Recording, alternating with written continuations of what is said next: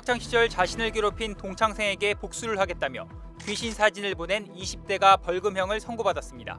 서울 남부지법 형사 13단독 김재은 판사는 스토킹 처벌법 위반 혐의로 기소된 26살 여성에게 벌금 200만 원을 선고했습니다. 또 스토킹 치료 프로그램 40시간 이수도 명령했습니다. 이 여성은 학창 시절 동창생에게 놀림을 당했다고 생각해 앙심을 품고 독특한 방식의 복수를 생각했습니다. 귀신 프로필 사진을 이용해 괴롭히는 방법이었습니다. 지난해 10월 자신의 SNS 계정 프로필 사진을 귀신으로 변경한 뒤 동창생에게 팔로우 신청을 했고 좋아요 버튼을 여러 차례 누르는 방식으로 동창생에게 귀신 사진이 보이게 했습니다. 동창생이 계정을 차단하자 새 계정을 만들어 유사한 방식으로 범행을 이어갔습니다. 결국 귀신 사진이 피해자에게 보여 반복적이고 지속적으로 불안감과 공포심을 일으킨 혐의로 재판에 넘겨졌습니다. 재판부는 피고인의 범행 경위와 정도, 피해자로부터 용서받지 못한 점 등 여러 양형 조건을 종합해 형을 정했다고 설명했습니다.